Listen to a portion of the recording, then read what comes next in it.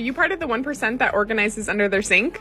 I'm not sure if that statistic is actually true, but I find most people really struggle with this space, so let me show you mine. I keep these acrylic drawers under my sink and label them according to what's inside. This drawer has all my cleaning e-cloths. I also have a drawer for hand towels and dish towels.